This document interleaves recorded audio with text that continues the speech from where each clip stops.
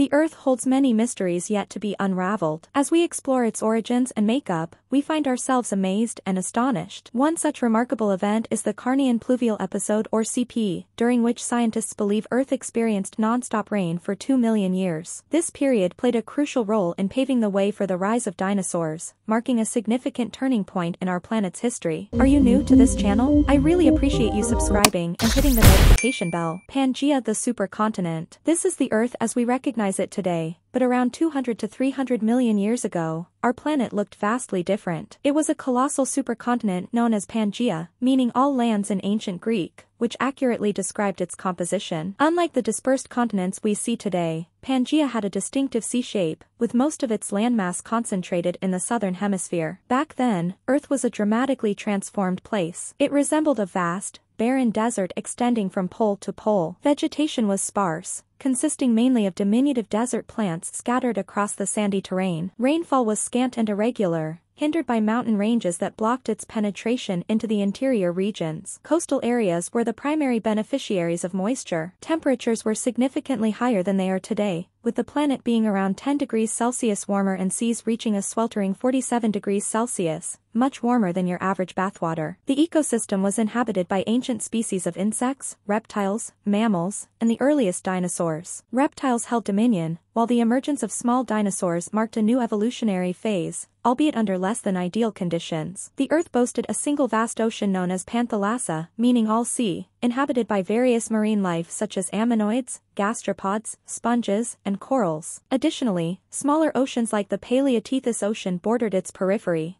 adding to the planet's diverse aquatic ecosystems. Early dinosaurs. In the arid world following the Permian period, dinosaurs did indeed roam, but they were just beginning to find their footing amidst early reptiles and mammal-like ancestors. The primary carnivores of that era were the Crurotarsans, a diverse group resembling crocodiles, encompassing reptiles like pseudosuchians and phytosaurs. Take Ornithosuchus, for instance, with its elongated hind legs allowing it to stand upright when sprinting, a sight both awe-inspiring and terrifying to behold. Even more intriguing were the rhynchosaurs, herbivores sporting parrot-like beaks and sometimes striking cheekbones, all atop a stout lizard-like body. While true mammals hadn't yet emerged, Dicynodonts filled a similar ecological niche. Despite their scaly, tusked appearance, they are actually more closely related to us than the likes of Dimetrodon. Among them, Lystrosaurus stood out as a globally widespread species, so abundant that its fossils contributed to the development of the theory of plate tectonics. However, these remarkable creatures, well suited to life in a dry climate, were about to face a significant upheaval. Carnian pluvial episode. In the early 1990s, British geologists Schlager and Schöllnberger stumbled upon rocks that defied expectations for the dry Triassic period they were familiar with. Instead of the typical red sands deposited over time, they uncovered layers of river rocks, sediments from expansive lakes, and signs of lush coal swamps. These findings hinted at a period of immense rainfall spanning approximately 2 million years. What made this discovery even more perplexing was its global reach. Similar traces of this sudden shift to a wetter climate were found in locations as far apart as England, the Americas, and Israel, indicating a worldwide phenomenon, initially met with skepticism from their peers, who suggested these rocks could be the result of localized floods. Subsequent decades brought forth a steady stream of similar discoveries. Coal deposits in Austria, ancient lakes in Italy, wet soils in Utah, and massive rivers in China all dated back to the same narrow time frame, between 232 and 234 million years ago. Geologists eventually pieced together the puzzle,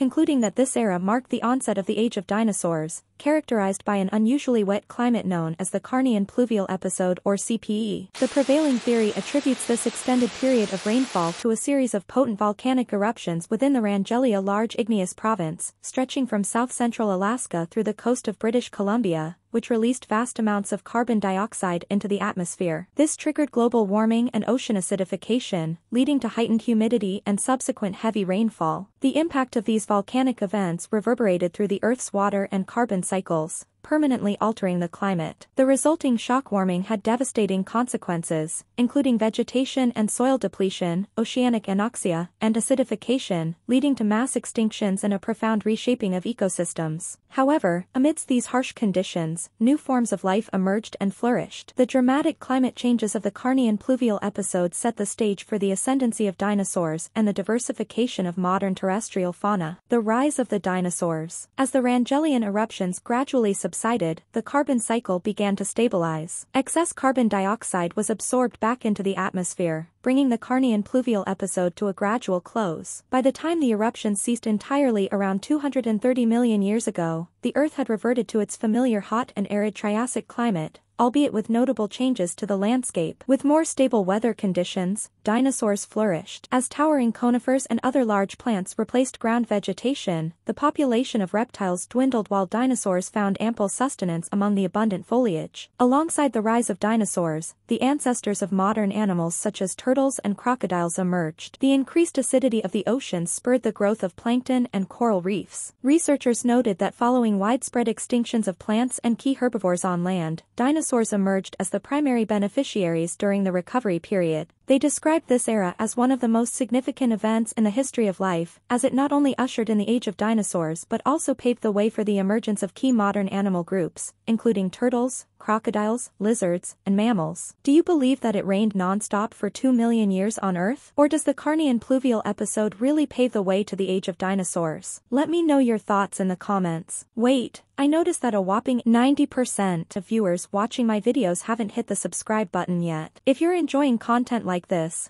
why not join the community by subscribing? You'll never miss out on the latest updates and exciting content. Also, please consider subscribing to these two awesome people who joined my community. Kindly check out their channel for their live stream schedule. That's all. Thanks for watching, and I'll see you in the next one.